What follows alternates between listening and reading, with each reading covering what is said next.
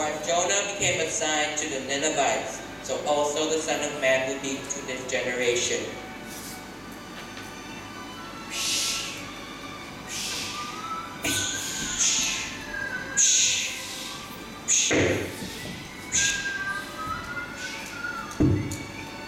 Oh!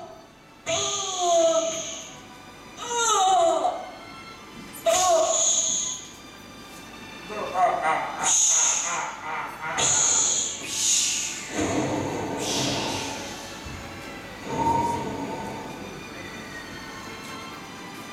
You will be with me.